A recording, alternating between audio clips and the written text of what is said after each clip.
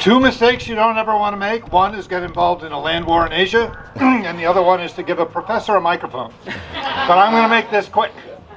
Hi, I'm Brad Barbeau. I am the director of the Entrepreneurship Institute down at Cal State Monterey Bay, and I'm, excuse me, the Institute for Innovation and Economic Development, and I am also uh, the chair of the board for uh, DART, Drones Automation and Robotics Technology Initiative, which is a really cool thing, which is really working to bring uh, more and more companies here involved in uh, drones, whether in agriculture, whether in uh, marine or urban air mobility, like the big dog who's settled into the Marina airport now, Joby Aviation. Uh, so really cool. Uh, a couple of things coming up I want to say. We've got the DART Symposium coming up October 19th to 21st.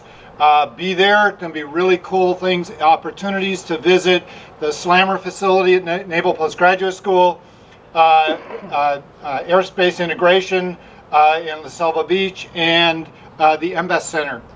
Um, and we've got great speakers for it. So that's the DART Symposium, October 19th to 21st. Then we have our Startup Weekend, annual Startup Weekend, the last weekend in January, and of course Startup Challenge.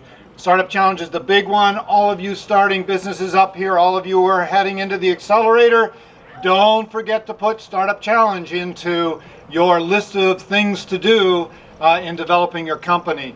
Uh, we just had a really big exit this summer company that won in 2012, YoDerm, started by two students right out of college.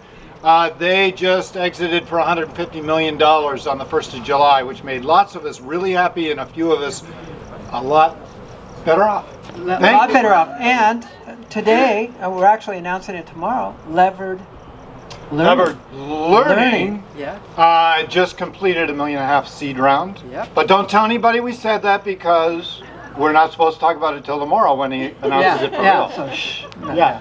Really cool. That, and and we're tying together all the universities, all the colleges, and actually all the high schools to make a better entrepreneurial yep. curriculum and higher success. So Brad is part Absolutely. of this. Working with UCSC, working with Doug.